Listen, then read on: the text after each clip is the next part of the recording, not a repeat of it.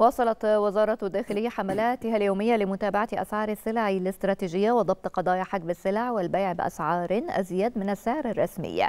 وتمكنت الوزارة خلال 24 ساعة من ضبط 429 قضية تموينية مستندية وعينية بمضبوطات 158 طنا. وفي مجالي حجب السلع الاستراتيجية والاستيلاء على السلع المدعومة تم ضبط 35 طنا. وفي مجال عدم الإعلان عن الأسعار بقصد البيع بأزيد من السعر الرسمي تم ضبط 116 طنا. وفي مجال قضايا المخابز تم ضبط 712 قضية من بينها 230 قضية خبز ناقص الوزن و208 قضية خبز غير مطابق للمواصفات. وفي مجال ضبط قضايا التهريب خارج منظومة توريد أرز الشعير تم ضبط 20 قضية.